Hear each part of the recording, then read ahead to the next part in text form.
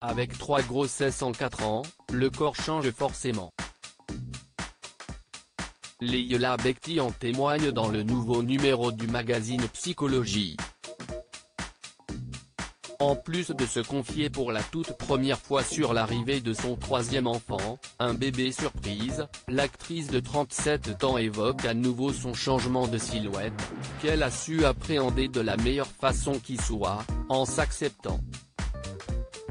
J'ai vécu, pendant trois ans, avec 27 kilos en trop.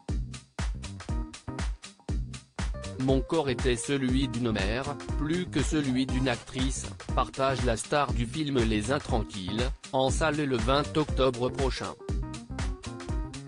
Mais qu'importe, les tournages ont continué à s'enchaîner pour la femme de Tahar Rahim, et si est tant mieux.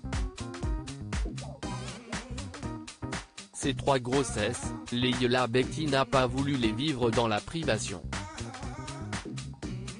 J'étais en total lâcher prise, je voulais vivre mes grossesses à fond la caisse et je ne le regrette pas, j'aime tellement manger, avoue celle que l'on retrouvera prochainement dans la comédie La Vengeance au triple galop, Canal+, primé lors du dernier festival de la fiction de La Rochelle.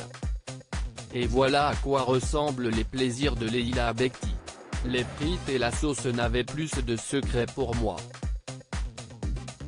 Mais un jour, la BFF de Géraldine Nakache a eu envie de mettre un terme à ses excès et perdre ses kilos pris pendant les grossesses.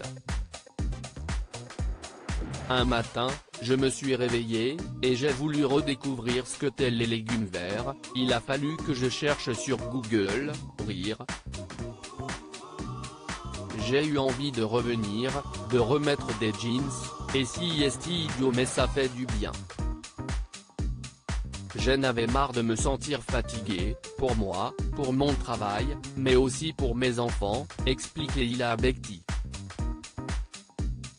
De passage au 69e Festival international du film de San Sébastien le 19 septembre dernier, l'actrice était sublime, non pas en Jean, mais en rouge, pour défendre les intranquilles. L'intégralité de l'interview de Leila Bekti est à retrouver dans le numéro d'octobre 2021 de Psychologie.